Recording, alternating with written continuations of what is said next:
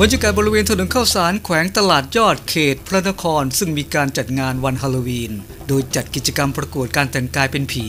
ชิงเงินมูลค่ารวม 30,000 บาท บรรยากาศเต็มไปด้วยความสนุกคึกคักของผู้ร่วมงาน ที่แต่งชุดผีสารพัดผี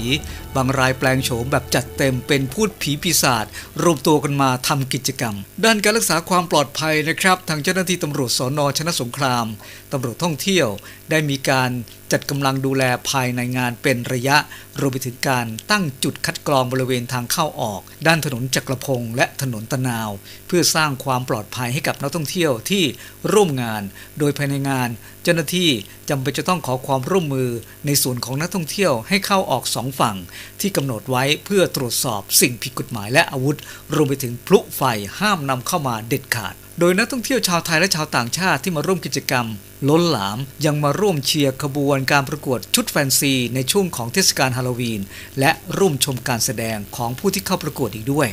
ล่าสุดมีรายงานว่าที่สอนอชนะสงครามนะครับมีผู้เข้ามาแจ้งความว่าโทรศัพท์โดนล้วงขโมยไปหลายราย ขณะที่พนักงานสอบสวน รอรับความแจ้งความถึงเช้า แล้วก็ส่งฝ่ายสืบสวน ให้ไล่กล้องเพื่อตามจับคนร้ายมาดำเนินคดีกันต่อไปครับ